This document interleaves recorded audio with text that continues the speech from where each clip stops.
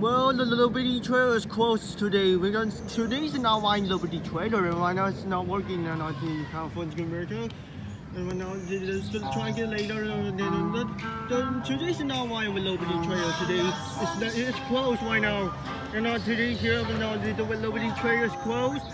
Why not the Liberty Twirler is closed right now and then not here That's not.